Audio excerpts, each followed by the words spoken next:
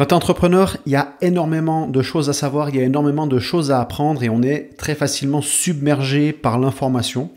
Et on a ce sentiment que si on ne sait pas, euh, on, va, se planter.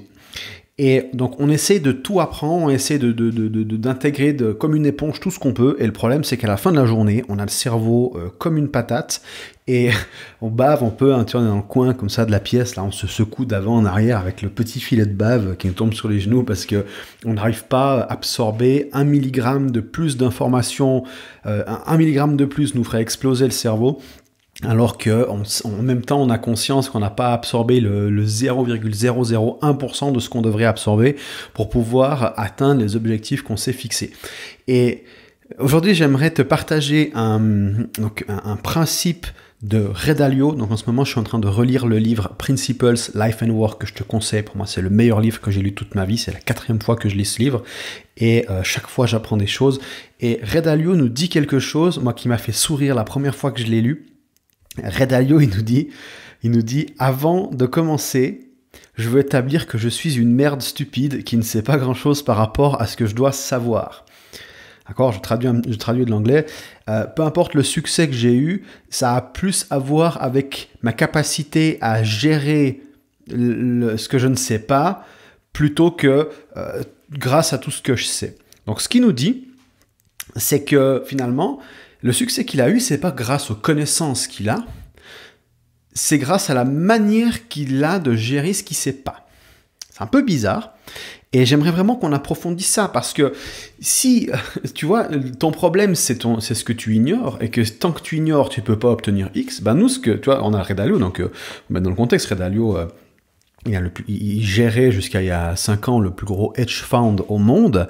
Donc voilà, il, sait de quoi il parle un minimum quand, quand il s'agit d'argent. Et il nous dit, il nous dit que bah, cet argent, il a réussi à le faire non pas grâce à ses connaissances, lui-même, il se, il se catégorise lui-même comme une stupide merde. Voilà, bon, c'est quelqu'un qui est extrêmement humble, c'est quand même quelqu'un qui a beaucoup de connaissances, c'est juste qu'il a conscience que par rapport à ce qu'il sait, euh, et, par, rapport, par rapport à la vaste euh, étendue de l'univers, ben en fait, il sait vraiment pas grand-chose. Et donc, il est, il est extrêmement humble. Mais ça, reste quand même quelqu'un qui connaît beaucoup de choses. Maintenant, ce qu'il nous dit, c'est que bah, il a obtenu ses résultats parce qu'il a un moyen de dealer avec son ignorance. Et c'est très intéressant parce que imagine le super pouvoir de, de dingue si tu es capable de faire des choses malgré ton ignorance. Si tu es capable d'obtenir les résultats en gérant l'ignorance. C'est-à-dire que ça te, ça, comment, j'essaie de tourner ça de manière plus intéressante. Finalement, au lieu d'essayer d'apprendre tout ce que tu sais pas, bah, tu apprends un truc qui te permet de gérer euh, les situations euh, inconnues. On va voir ça, d'accord? J'espère que c'est clair. Et voilà, donc le problème, c'est de chercher à tout savoir, c'est de chercher à tout faire par nous-mêmes. Et euh, c'est un, un, problème que j'ai remarqué, c'est un problème qui vient de l'ego. Moi, j'ai longtemps vécu ça et je, suis en rémission. Euh, j'aime faire les choses moi-même. Tu sais, on a cette sensation que les autres ne peuvent pas faire ce qu'on fait. C'est que non, il n'y a que moi qui peux faire ça. Euh, de toute façon, si je demande conseil, si j'engage quelqu'un, si je, si je demande à quelqu'un d'autre de faire ce truc-là, ça va pas être aussi bien. Il n'y a que moi qui suis capable de le faire, que moi qui suis capable de répondre à ces questions, et que moi que X. Et ce qui est dingue, c'est que j'avais je, cette croyance alors même que j'avais pas de résultats. Et il y a des gens qui ont beaucoup plus de résultats que moi, mais pour autant, je jugeais que personne n'était capable de faire mieux que ce que je faisais. Donc, on est vraiment dans un niveau d'ego euh, superstar. Tu vois, là, c'est vraiment le mec, il est entraîné. Euh, il peut, je, je, pouvais faire les Jeux Olympiques, je pense, à ce stade-là. Et le problème, c'est que cet ego, on a envie de savoir, on a envie d'être l'homme de la situation, la femme de la situation, et et ça nous pose problème, c'est une barrière qui est, euh, qui est incroyable. Et ce que Redalio nous conseille de faire à la place, et, j'aime beaucoup, il y, a, il, y a, une énorme profondeur à, à ce principe-là, mais donc je t'invite à vraiment y réfléchir comment tu peux implémenter ça dans ta vie. L'idée, c'est d'emprunter les compétences. C'est d'emprunter la meilleure pensée à ta disposition. Parce que finalement, ton cerveau, c'est une machine dans lequel tu vas mettre des inputs et qui vont ressortir des outputs. Si je te pose une question, tu réfléchis, tu me donnes une réponse. D'accord? Input, process, output. C'est un système. Et cette même question, je peux la passer à travers différents cerveaux. et j'obtiendrai différentes réponses. Ok? C'est intéressant. Ça veut dire que, au lieu d'utiliser uniquement mon cerveau, je vais emprunter le cerveau d'autres personnes pour résoudre mon problème. C'est con, c'est bête, mais vraiment, je, je dis vraiment ce principe a une profondeur. C'est-à-dire que, comment il opère? Il a ce qu'on appelle le, il appelle le five-step process. Donc, il fixe son objectif clair, il détermine le problème, il diagnostique la cause profonde du problème, il planifie une, il, conçoit un plan d'action et il exécute le plan d'action. Et il dit voilà, bah, à chacune de ces étapes, on a des faiblesses, il y a des, choses sur lesquelles on est moins doué que d'autres. Certains sont plus doués pour fixer les objectifs, d'autres sont plus doués pour exécuter, etc., etc. Et euh, évidemment, donc il y a, il y a des faiblesses qui sont d'ordre génétique. On a tous, par exemple, il y en a qui sont plus créatifs, il y en a qui sont plus synthétiques, il y en a qui sont plus analytiques, il y en a qui sont plus euh, voilà, dans l'exécution, d'autres dans la, dans la réflexion, il y en a, d'accord, il y en a qui sont plus intuitifs. Et donc, on a, on a des, des, des faiblesses et des forces génétiques, et on a aussi des compétences uniques. Et donc, identifier les personnes qui viennent combler nos faiblesses nous permet de dealer avec ce qu'on ne sait pas. Et il y, a, tout un courant sur le web euh, qui nous dit qu'il faut ignorer nos faiblesses et renforcer nos forces.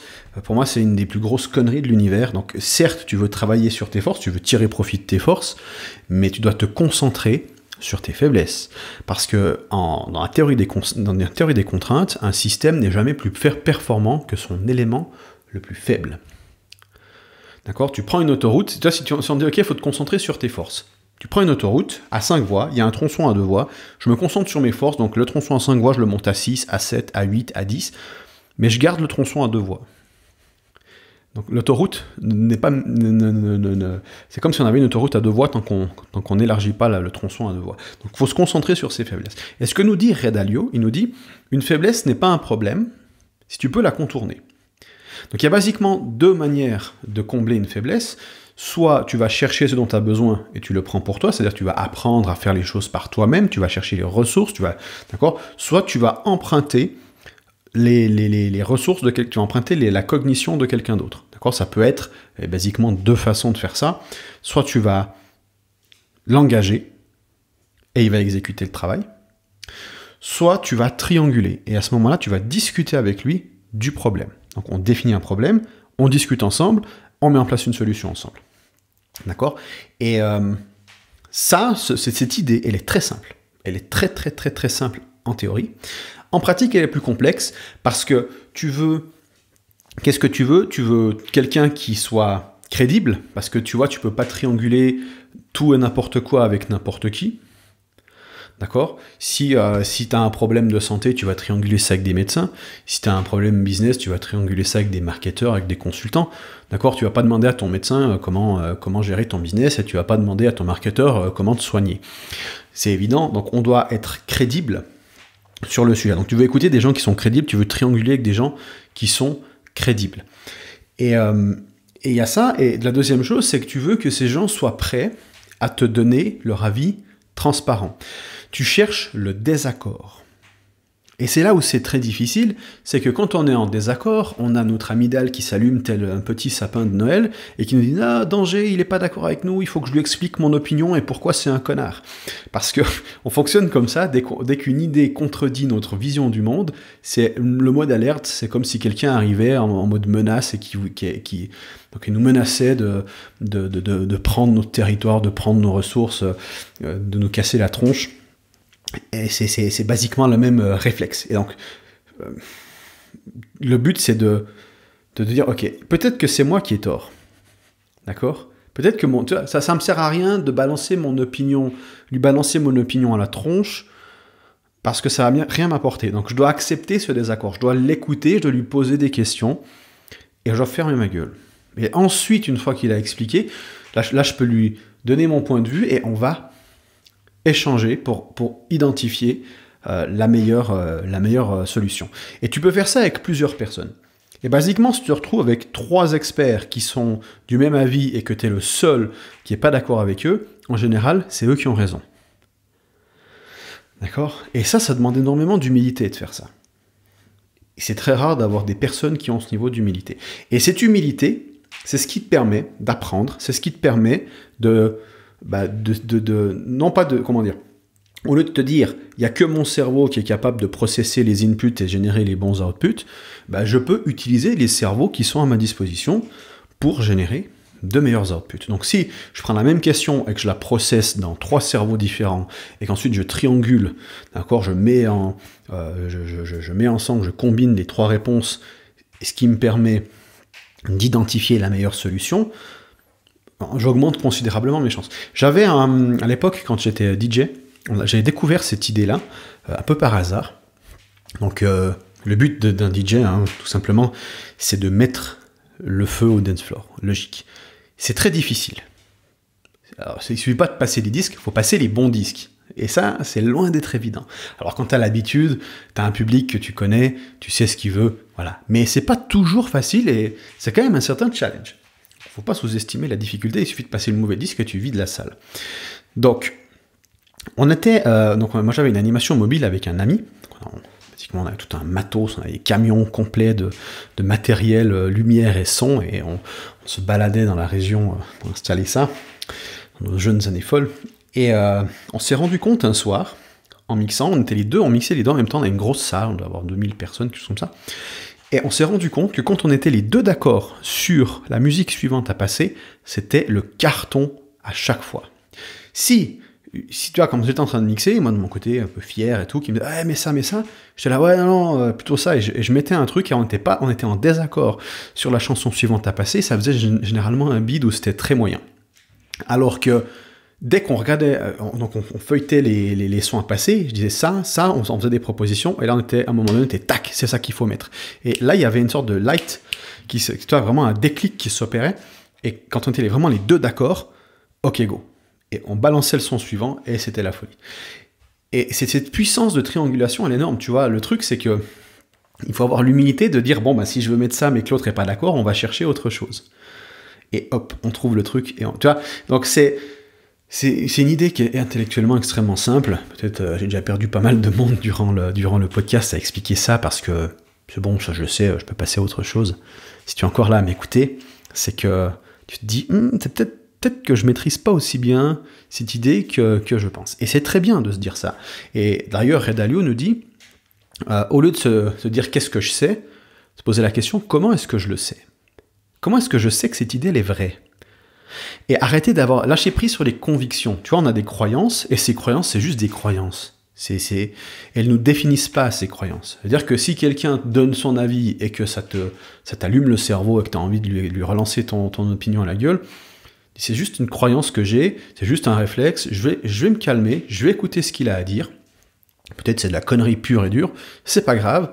9 fois sur 10, peut-être que j'ai raison, mais une fois sur 10, si j'ai tort, j'apprends quelque chose, d'accord? C'est celui qui a tort qui apprend, pour autant qu'il soit prêt à recevoir l'information. Et l'humilité, c'est ça, c'est dire, ok, ta vision, elle est peut-être plus intéressante que la mienne, et c'est difficile à faire ça dans des domaines où tu es t'es passionné. Tu vois, de genre, euh, moi, dans, le business, je passe mon temps à, étudier le business. J'ai des idées très fortes en business, très, quand je dis fortes, qui sont très ancrées en moi, des, des convictions que j'ai, comme par exemple le fait de construire son produit est plus important que le marketing. Peut-être que dans quelques années, quelqu'un viendra me contredire à un niveau qui fait que je me dirais, ok, dans certains cas, le marketing est vraiment plus important que le produit.